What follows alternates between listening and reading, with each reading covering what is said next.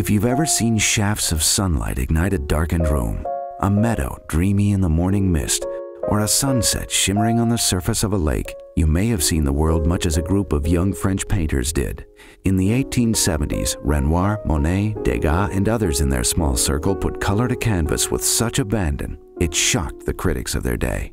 See the world as they did. The Age of Impressionism, Great French Paintings from the Clark, opens at the Kimbell Art Museum March 11th.